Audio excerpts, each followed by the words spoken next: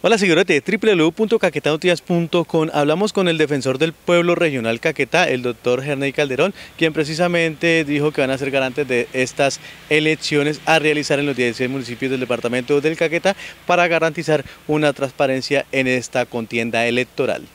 Tenemos la tarea de hacer acompañamiento a la ciudadanía en el ejercicio eh, del derecho humano, al derecho político, los derechos políticos de los, de los ciudadanos en el departamento y además tenemos eh, la responsabilidad de alertar los riesgos que deriven del conflicto armado y que puedan perjudicar el certamen democrático a realizarse el próximo 27 de, octubre.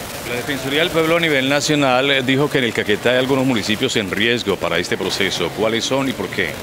Se emitió la alerta 035 de este año electoral y allí están incluidos seis municipios del departamento con algún, algún tipo de riesgo, cuatro en riesgo extremo y dos en riesgo alto. ¿Cuál es la connotación de los mismos riesgos? Eh, ¿En qué se traducen?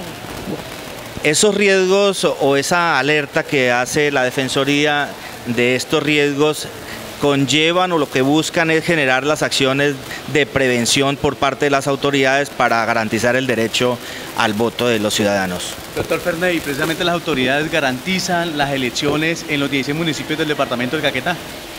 Eh, nos ha dicho la fuerza pública eh, y las autoridades de seguridad que van a garantizar eh, las elecciones en todos los puestos de votación. Hay las condiciones para que la ciudadanía, los votantes salgan a ejercer su derecho de manera libre y con todas las garantías de seguridad. Pues también se vincularán las autoridades a lo que será esta próxima contienda electoral a realizar el 27 de octubre para garantizar unas elecciones transparentes en esta región del sur del país. Soy yo Martínez, informando para Caquetá Noticias, noticias destacadas. Y no olvidar me gusta para que informar todo lo que pasa en esta zona del sur del país.